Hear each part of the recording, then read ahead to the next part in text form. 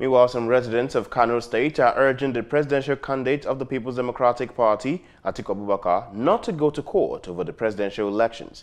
Recently, they say the changes by the president made to the judicial arm of government will have a far-reaching effect on the outcome of the tribunal judgment.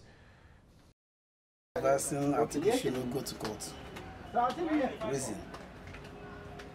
Uh, the election have already come and passed. And if you can see what is that, Atiku, even if you go court, you can't, you can't make anything, you can't gain anything there. No, I'm not advising Atiku to go to court. So going to court is just wasting of his time. Let Atiku have patience again for next four years. So Atiku should just leave everything for God because God knows the best. Yes. So by going to court, he's just wasting of time and wasting of everything.